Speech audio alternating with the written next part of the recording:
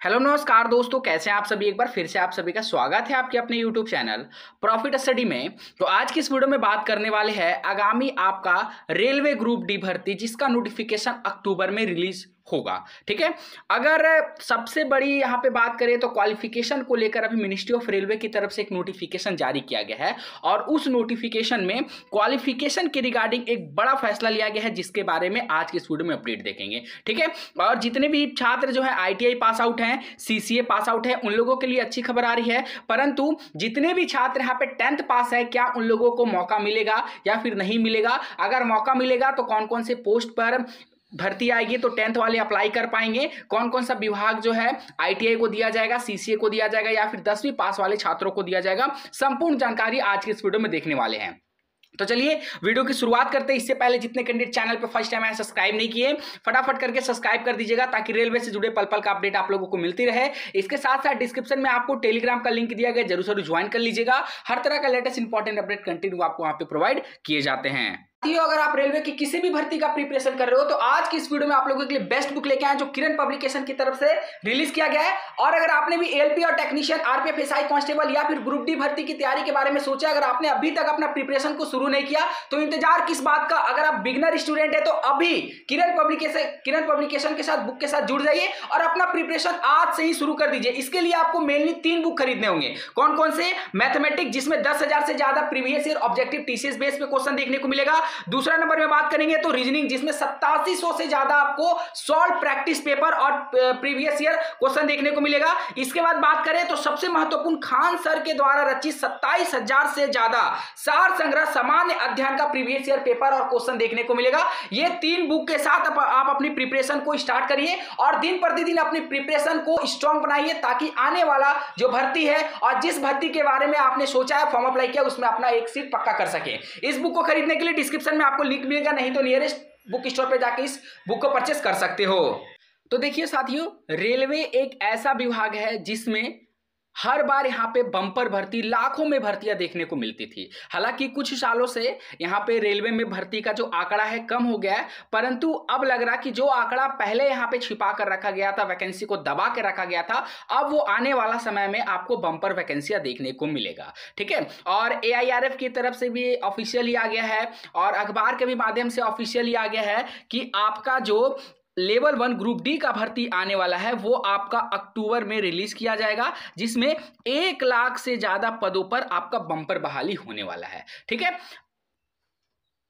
तो जैसे यहाँ पे जब लेवल वन का बात आता है, क्योंकि सबसे ज़्यादा जो फॉर्म अप्लाई होता है ना, वो ग्रुप डी में होता है। जो पहले ग्रुप डी, अब ग्रुप सी के नाम से जाना जाता है या फिर लेवल वन के नाम से जाना जाता है। सबसे ज़्यादा कंपटीशन आपको लेवल वन में देखने को मिलता है, क्योंकि इसमें मिनिमम एजुकेशनल क्वालिफिकेशन ही यहाँ पे दो हज़ार उन्नीस में बात करेंगे तो दसवीं पास रखा गया था। हालाँकि दो हज़ार उन्नीस में आईटीआई लागू था, परंतु यहाँ पे प्रोटेस्ट होने के बाद, आगजनी होने के बाद, रेलवे के बोगियों को जलाने के बाद मतलब बहुत भयावह स्थिति हो गया था, जिसके कारण यहाँ पे सरकार को फैसला लेना पड़ा कि आईटीआई को हटाकर यहाँ पे दसवीं पास मिनिमम एजुकेशनल क्वालिफिकेशन को कर देना चाहिए और 2018-19 भर्ती में ऐसा ही हुआ। ठीक है? परंतु यहाँ पे अभी एक ऑफिशियल नोटिफिकेशन आया है, एक ऑफिशियल ग्रुप डी भर्ती आया है, जो आपका स्पोर्ट्स एंड स्पोर्ट्स कोटा के तहत, देखिए, स्पोर्ट्स एंड गाइड्स कोटा के तहत ये भर्ती निकाला गया है चौबीस पच्चीस सेशन के रिगार्डिंग, ठीक है? ये देखिए, आपका इसका नोटिफिकेशन आया है अट्ठाईस छः दो हज़ार चौबीस के डेट में, अट्ठाईस जून में, और नौ जुलाई से आपका फॉर्म स्टार्ट हो जाएगा, जो आपका आठ अगस्त तक चलेगा,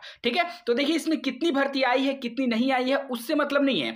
इसमें जो आपका लेवल वन, जो ग्रुप डी पद के अंतर्गत आता है, उसमें क्या क्वालिफिकेशन रखा गया है, सबसे बड़ी बात वो आप लोगों को समझना है, देखिए। जब आप स्क्रॉल करके नीचे बढ़िएगा तो ये क्वालिफिकेशन का एरिया आता है, ठीक है? क्वालिफिकेशन का एरिया आता है, इसमें टोटल नंबर और पोस्ट वगैरह बताया गया है तो ये आपको ध्यान नहीं देना पोस्ट से हमें अभी इसमें कोई मतलब नहीं है। हमको बेसिकली देखना है कि इसमें आपका लेवल वन के लिए क्या क्वालिफिकेशन रखा गया है। तो अगर आप देखोगे तो आपका जो डाउट है, क्योंकि सबसे ज़्यादा जो डाउट है ना, वो टेंथ वाले कैंडिडेट को आ रहा है। बहुत सारे आईटीआई वाले कैंडिडेट बोल रहे सर, ऐसा तो नहीं होगा कि 18 19 में जिस तरह प्रोटेस्ट हुआ, फिर वैसा प्रोटेस्ट होकर आईटीआई को हटा दिया जाएगा। सीसीए के रिगार्डिंग क्या अपडेट है तो देखिए यहाँ पे। पहला कंडीशन बोला जा रहा कि tenth pass from a recognised board with national apprenticeship certificate granted by NCVT पहला कंडीशन रखा गया है कि वैसे कैंडिडेट फॉर्म को भर सकते हैं जिन्होंने दसवीं के बाद अप्रेंटिसिप का कोर्स किया है। मतलब टेंथ प्लस सीसीए का सर्टिफिकेट है। और सीसीए का सर्टिफिकेट कहाँ से होना चाहिए? सिर्फ़ और सिर्फ़ रेलवे से होना चाहिए। अगर दसवीं के बाद आप रेलवे से अप्रेंटिस का कोर्स किए हो तो आप इस भर्ती के लिए आवेदन कर सकते हो। पहला कंडीशन ठीक है? दूसरा कंडीशन देखिए। दूसरा कंडीशन बोला जा रहा है, और tenth pass from a recognised board with ITI for appointment in civil engineering mechanical electrical S N T and catering department. दूसरा कंडीशन बोला जा रहा कि अगर आपके पास सीसीए नहीं है तो दूसरा कंडीशन में आप दसवीं के साथ साथ आईटीआई भी अगर किए हैं तो आप आवेदन कर सकते हैं। ठीक है? और आईटीआई और सीसीए वालों को कौन सा डिपार्टमेंट मिलेगा? तो उनको मिलेगा भैया सिविल मिलेगा, मैकेनिकल मिलेगा, इलेक्ट्रिकल मिलेगा S N T and catering department इनको दिया जाएगा।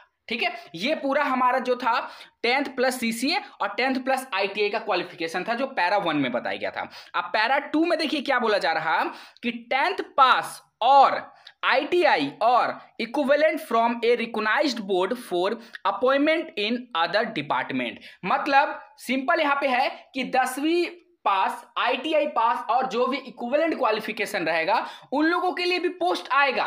परंतु कौन कौन सा डिपार्टमेंट के लिए अदर डिपार्टमेंट अदर डिपार्टमेंट में क्या आ जाएगा, सही से समझिए।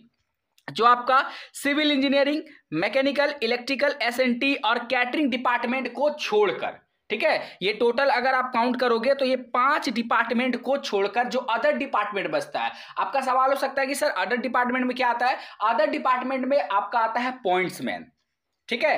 हॉस्पिटल अटेंडेंट का जो पोस्ट आता है वो आता है अदर डिपार्टमेंट में। तो ये सभी पोस्ट पे टेंथ वाले एप्लीकेबल होंगे। ठीक है? अब देखिए कंपटीशन कैसे बढ़ेगा? टेंथ वालों के लिए ध्यान से समझिए। अब मान लीजिए कि पॉइंट्स मैन का जो वैकेंसी है, वो आया। अब ये पॉइंट्स मैन वालों के लिए टेंथ वाले तो एलिजिबल होंगे ही होंगे। इसके साथ साथ आईटीआई वाले भी उस पर एलिजिबल होंगे। मतलब टेंथ वाले भी फॉर्म भरेंगे आईटीआई वाले भी फॉर्म भरेंगे उस पर परंतु जो आपका सिविल मैकेनिकल इलेक्ट्रिकल एसएनटी और कैटरिंग डिपार्टमेंट का वैकेंसी आएगा, उसमें सिर्फ़ और सिर्फ़ यहाँ पे जो एलिजिबल होंगे, वो आपका आईटीआई वाले छात्र एलिजिबल होंगे इसमें टेंथ वाले फॉर्म नहीं भर पाएँगे। परंतु जो टेंथ वालों में एलिजिबिलिटी है, उसमें आईटीआई वाले भी एलिजिबल होंगे। मतलब सब तरफ़ से आईटीआई और कोर्स कंप्लीट एक्ट अप्रेंटिस का बेनिफिट देखने को मिल रहा है।